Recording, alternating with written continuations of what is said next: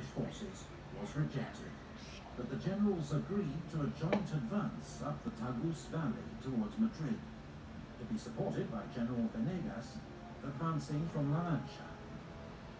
In the face of their advance, Marshal Victor's first corps withdrew to Talavera, where he was joined by King Joseph and General Sebastiani's fourth corps.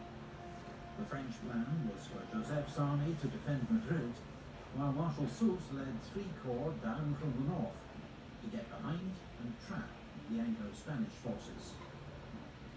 But Joseph, worried by Soult's slow progress and General Venegas' advance on Madrid, decided to attack at Talavera.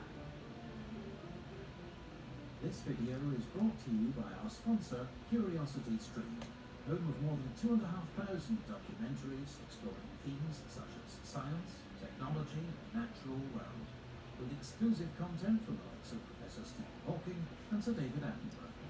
And if you've already watched all our videos, they've got bags of history.